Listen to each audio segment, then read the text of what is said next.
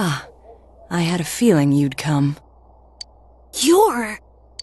Are you here to ingratiate yourself with Rise Kujikawa now?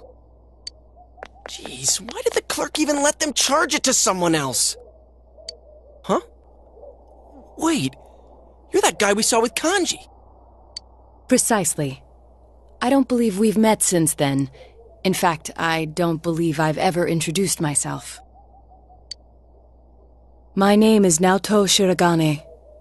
I'm investigating the multiple murders that have occurred here.